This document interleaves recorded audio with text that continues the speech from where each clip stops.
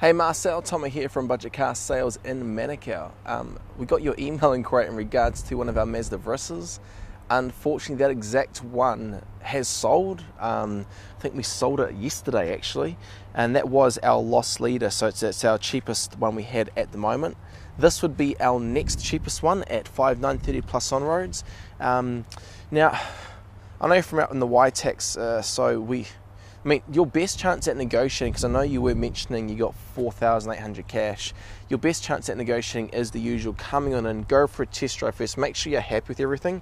Although, as you hopefully be able to make it in this video, um, our cars are quite nice and tidy and, uh, you know, pretty good grades here as well. Um, but yeah, 4.8 might be a bit short because that is, even on this car, is sitting at about 1,500, 1,600 short of our asking price. Um, and on a previous one, even a grand might be a bit much difference. Um, but, in, but if you do have any more questions, give us a call, text, or email. Um, if you do find something else on our database there, we do have four to 500 cars here at the moment.